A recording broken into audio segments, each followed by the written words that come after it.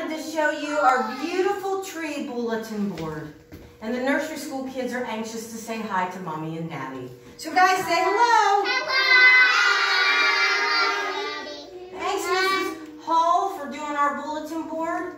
And we're excited about spring. You better believe it.